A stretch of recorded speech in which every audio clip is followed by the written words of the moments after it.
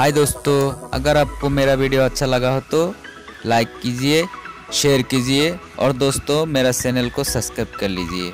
और दोस्तों, मेरा वीडियो को देखने के लिए बहुत बहुत धन्यवाद।